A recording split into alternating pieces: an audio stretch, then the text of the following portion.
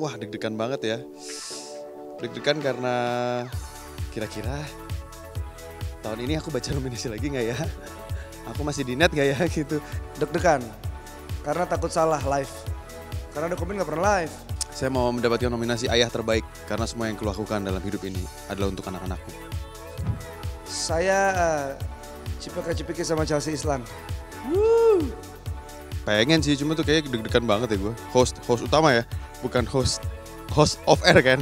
Kalau host off air dari tahun pertama kayaknya kita udah off air mulu. Commenters, good people, pemirsa, Jangan lupa saksikan 10 hari lagi.